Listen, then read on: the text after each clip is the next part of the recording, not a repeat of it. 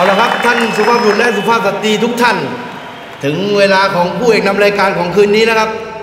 เป็นการชกกันระหว่างเล็กชอชานวิทย์จะชกกับเอนพัฒน์ยิม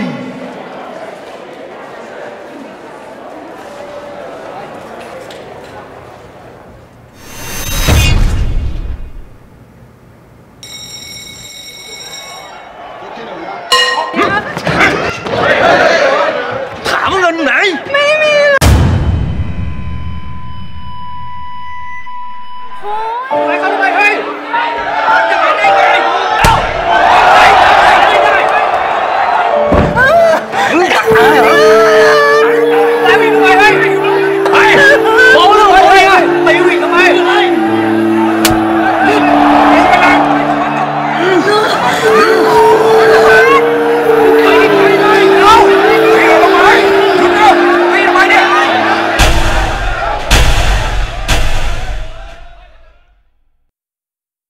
ไฟท์แบบนี้เกิดขึ้นทุกวัน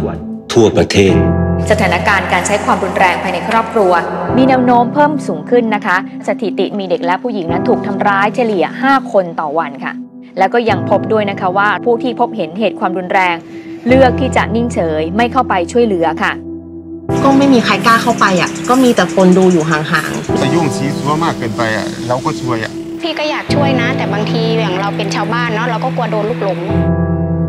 คุณช่วยหยุดเหตุการณ์แบบนี้ได้ แค่โทร 1300 เมื่อพบเห็นการใช้ความรุนแรงต่อผู้หญิง คุณอาจช่วยชีวิตพวกเขาได้